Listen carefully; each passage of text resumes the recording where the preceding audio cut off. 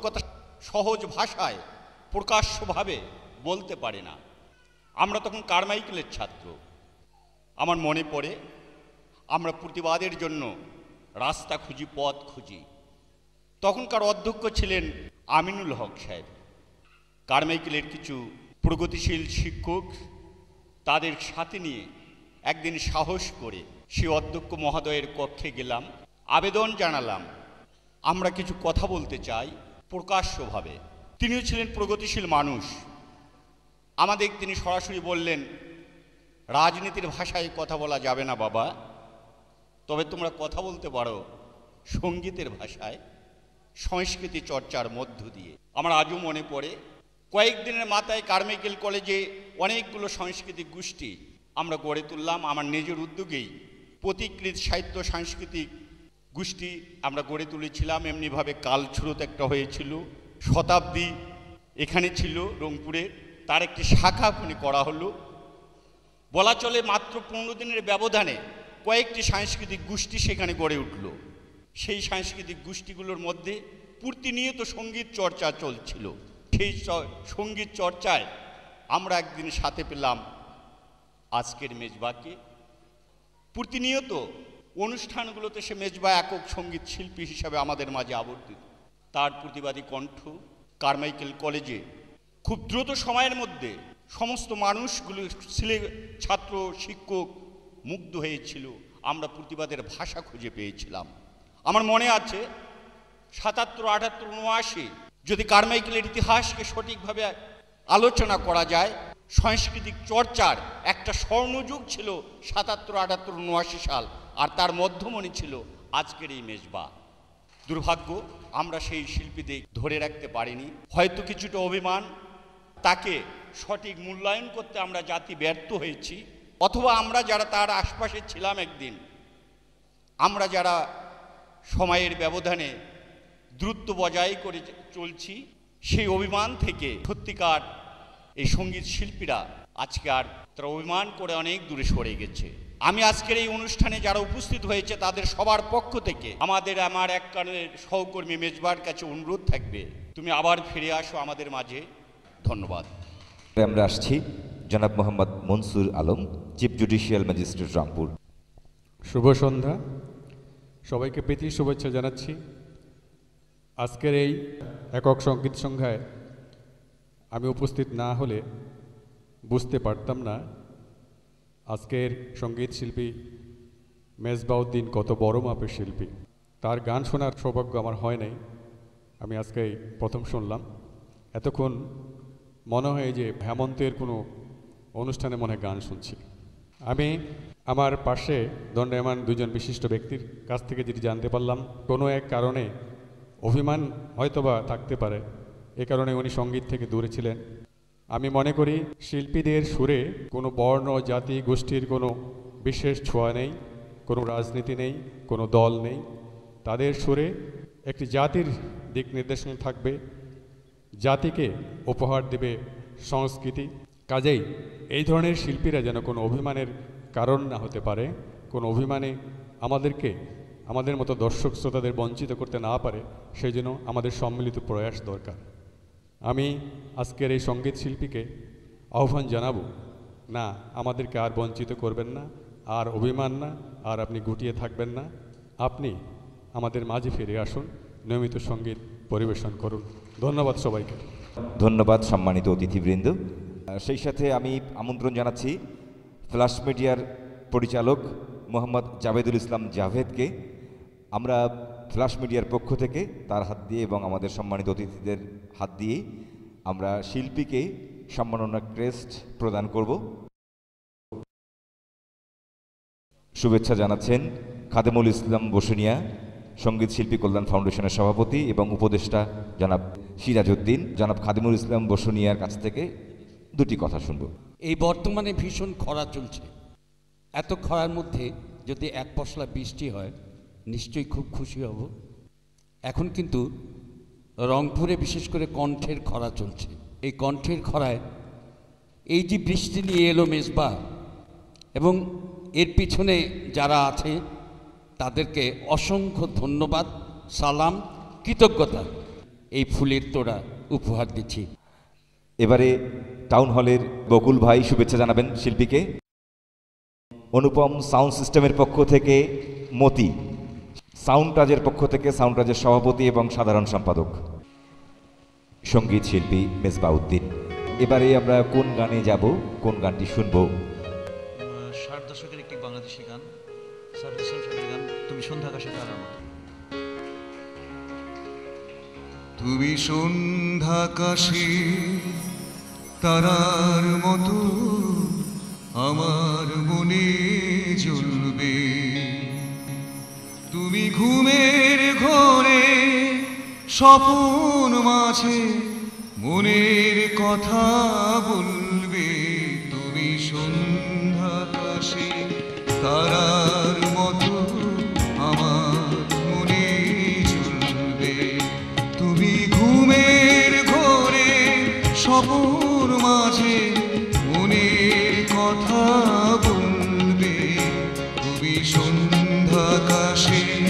তারার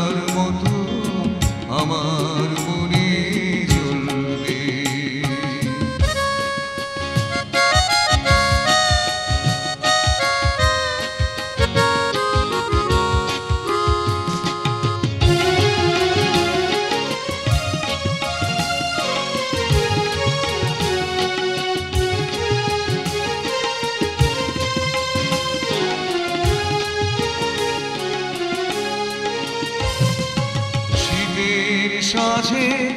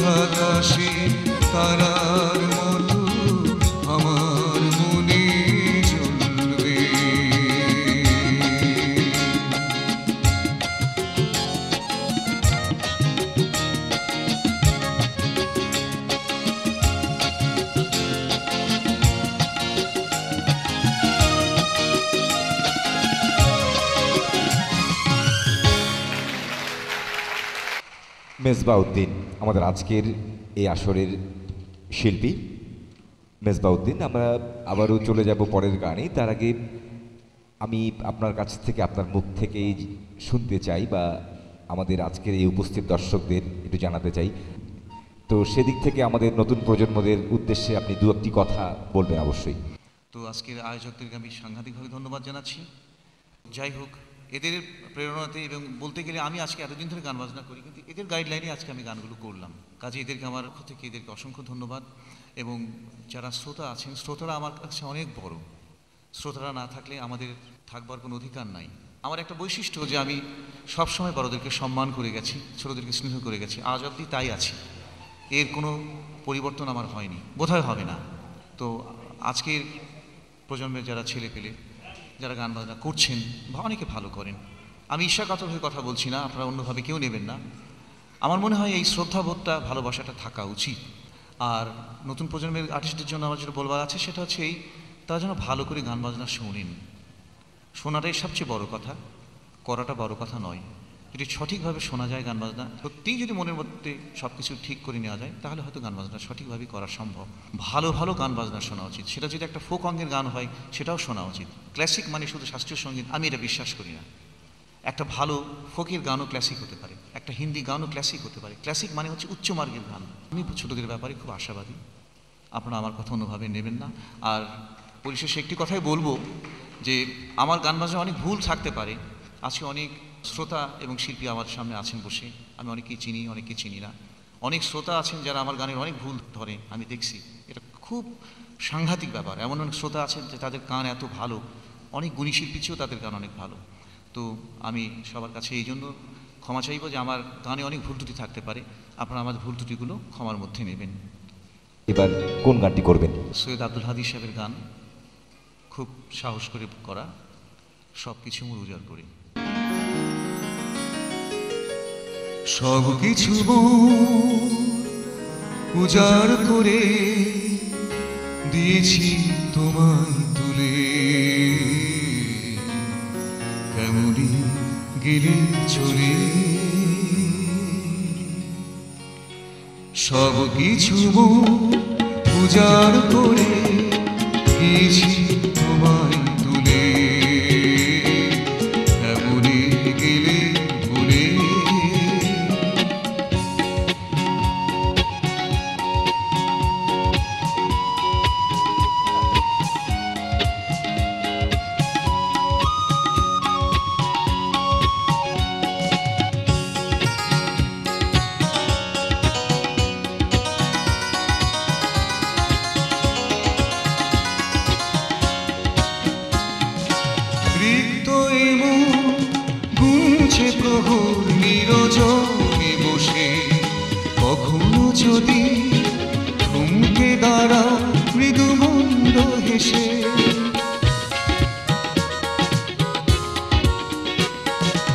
রিক্ত মন গুনছে প্রভু, নিরজনে বসে।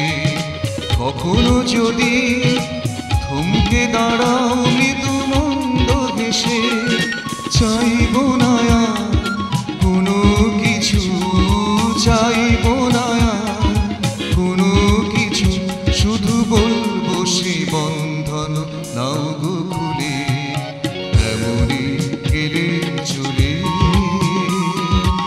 সব কিছু মোর উজাড় করে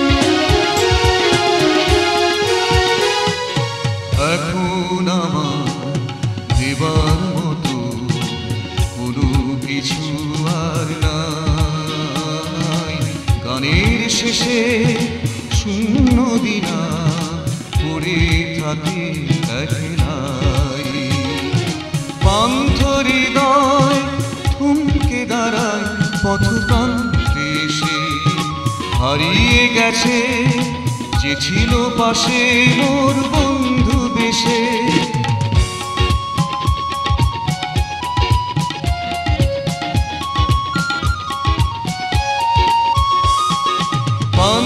হৃদয় থমকে দাঁড়ায় পথ প্রান্তে হারিয়ে গেছে যে ছিল পাশে মোর বন্ধু দেশে ডাকবে না কেউ।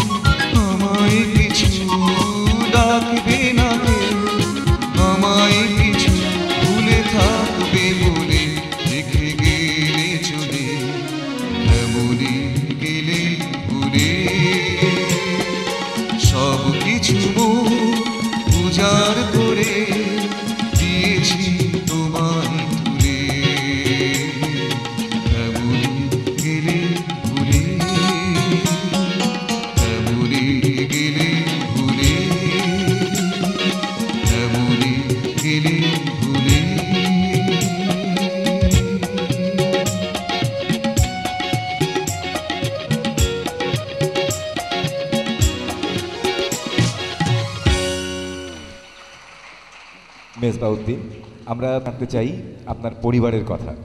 আপনার পরিবারে কারা কারা রয়েছেন এবং আপনার এই উত্তরসূরীরা গানের জন্য বা গানের সাথে আছেন কিনা?